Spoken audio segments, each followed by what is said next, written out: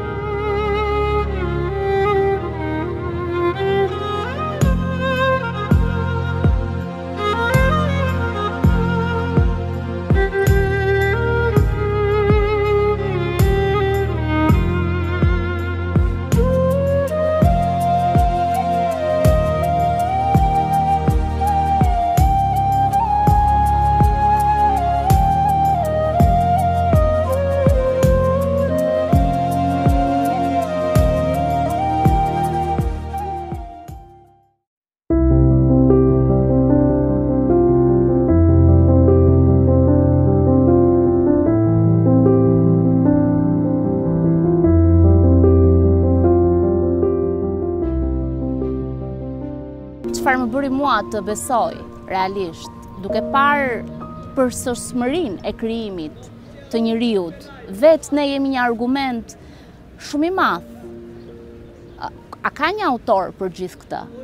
A ka një krijues për gjithë këtë?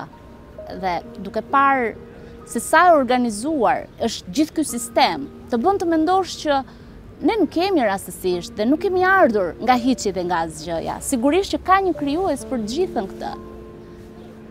Duke lexuar, duke e kërkuar këtë kudo dhe ngado. Aty vjen një ditë Krejt papritur ka qenë ditë agjërimi, ditë Ramazani dhe më bie në dorë një fletushkë për dobitë e agjërimit, të cilën në mënyrë të shkujdesur fillova ta lexoj. U bë sebep ajo fletushkë që unë të gjeja paqen shpirtërore, qetësimin e zemrës dhe të besoja në një krijues të vetëm. Kanë kaluar tetë vjet që nga ajo ditë Që unë praktikoj fenë islame. Ndihem e qetë sepse ia kam dorëzuar shpirtin tim atij që ka krijuar gjithësinë. Pa dyshim, jeta është një dhunti hyjnore, të cilin krijuesi ynë na e dhuroi. Ajo ka dy anë, të mirën dhe të keqen. Prandaj, si rrjedhojë e kësaj, ne shohim njerëz të pasur, por edhe të varfër. Shohim njerëz shumë të lumtur, e shohim të tjerë të dëshpëruar. Shohim që ka njerëz të dërrmuar nga varfëria e tyre, e në anën tjetër, shohim njerëz që as vetë nuk e dinë fundin e pasurisë që kanë. Ashtu si gjithë njerëzit në botë, miliarda njerëz që kanë qenë dhe do të vijnë, që nuk i kanë shenjat e gishtave të njëjtë, padyshim karakteret, shtresat shoqërore, ekonomike do të jenë të ndryshme. Në fakt ajo që i takon njeriut është të lidh ura bashkëpunimi me çdo shtresë njerëzore. Dhe pjesa e të pasurit me të varfrit, i varfri me të pasur, ai i dituri lidhet me ata që nuk dinë, i mëson. Në këtë formë bëhet më e bukur kjo botë, bëhen ura bashkëpunimi dhe njerëzit janë më të qetë, janë më të lumtur. Profeti jonë na thotë që Për të qenë të lumtur në këtë botë, mos shikoni ata që janë sipër jush, në çdo shtresë, në çdo nivel ekonomik apo shoqëror apo fizik, nga pamja fizike, por shikoni ata që janë poshtë jush, që janë të sprovuar më shumë se ju. Shikoni ata që ju të kuptoni vlerën e mirësive që ju ka dhënë Zoti. Bota është e mbushur me brenga, me dhimbje, dhimbjet më të mëdha janë dhimbjet shpirtërore. Përse kush është shkaktari i kësaj brenge dhe i këtij shqetësimi në botë? Mundet njeriu duhet të thellohet pak më thellë. Se kush është shkaktari, përse kjo botë në këtë në këtë pikë ku nga njëra anë reklama dhe shkëlqimi, koha e elektronikës, ndërsa nga ana tjetër po të shikojmë është ana tjetër e medaljes. Qindra e miliona njerëz vdesin në rrugë, në qiell të hapët, urie, nuk janë të qetë shpirtërisht, nuk njeh më prindi fëmijën dhe fëmija prindin. Pra mund të them se Moralisht bota është në një vdekje klinike. Atëherë, cila është arsyeja? Dhe a ka mundësi të dalim nga kjo gjendje? Unë them se po. Të gjitha këto kanë shkakun sepse njeriu i është larguar krijuesit. Njeriu ka zgjedhur për shok dorën e gabuar, po kafshon atë dorë që e mbron dhe Po adopton atë dorë që gjithë jetën, që në fillim, që në zanafillën e tij, ka qenë kundërshtarja që e çoi në mëkat, dorën e djallit. Dhe kjo është arsyeja. Njerëzit janë të ndryshëm dhe të gjithë njerëzit kanë brenga dhe halle të ndryshme. Të gjithë njerëzit kanë halle dhe të gjithë njerëzit brengosen. Brenga më e madhe është se si ato të arrijnë qetësinë e tyre shpirtërore. Mënyra se si njerëzit e kërkojnë qetësinë e tyre shpirtërore është të ndryshme dhe ndonjëherë jo e duhura dhe, dhe e përshtatshme, dhe kjo e bën shpirtin e njeriut që të mërzitet dhe të pikëllohet. Për shembull, një i pasur brengoset, ama gjithashtu edhe një i varfër i cili mendon që me anë të pasurisë mund të arrijë qetësinë e tij shpirtërore, përsëri ai brengoset. Pra, të gjithë njerëzit në çfarëdo lloj gjendje që të jenë, pikëllohen dhe mërziten. Dikush nga dëshpërimi provon alkoolin, apo drogën, apo fenomene të tjera negative. Vallë, a thua se në shtigjet që po ecën do të ketë rrugëdalje? A do të sjellin këto gjëra lumturi e gëzim? A do ta largojnë dëshpërimin? Përkundrazi, kënaqësia e përkohshme shpesh herë sjell dëshpërim, pikëllim e vuajtje të përhershme. Nuk është zgjidhja alkooli, nuk është zgjidhja droga.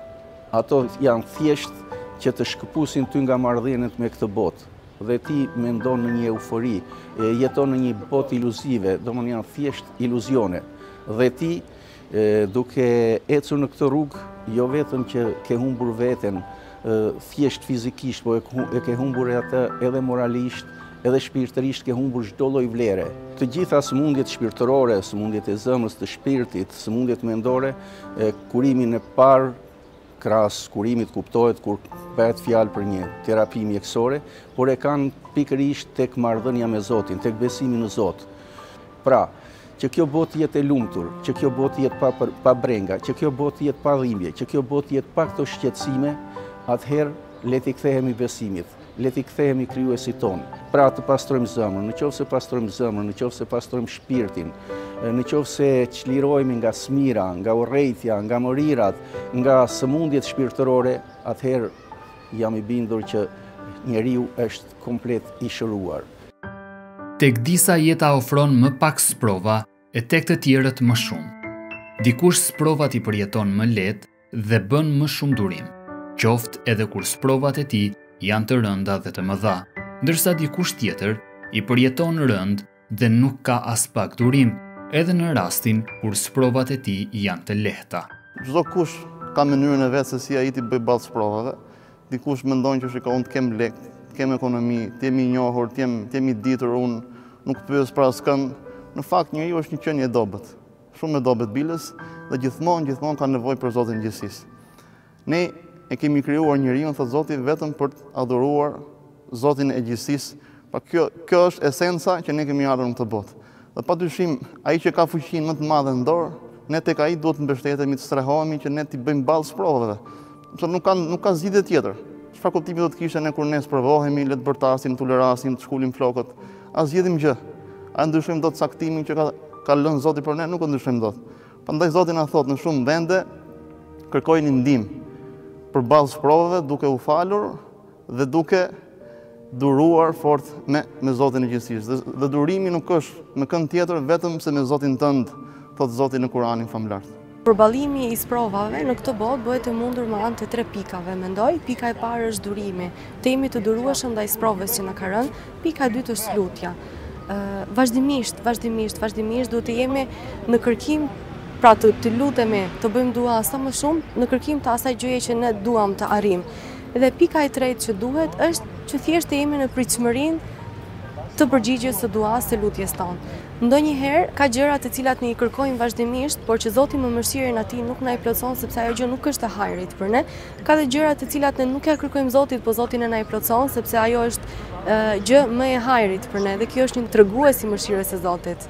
Duke duruar dhe duke u lidhur fort me Zotin e gjithësisë, Dhe pastaj sheh në fund në përfundim që këto sprova të kthehen në favorin tënd, ti je i lumtur, ke një qetësi shpirtërore që ajo nuk blihet, nuk blihet me me lek, dhe blihet vetëm me lidhje të fortë dhe të sinqertë tek Zoti i gjithësisë, tek ai që ka çdo gjë në dorë, që ka jetën tonë, fëmijët tonë, pasurinë tonë dhe çdo gjë që ne kemi, ai ka në dorë Zoti i gjithësisë. Dhe për të arritur qetësinë e zemrës dhe shpirtit, padyshim që është që ne durojmë përballë sprovave, Pranojmë caktimin e Zotit dhe ai që ka pranuar atë që Zoti ka, i ka caktuar për atë, thot profeti, është njeriu më i pasur në botë.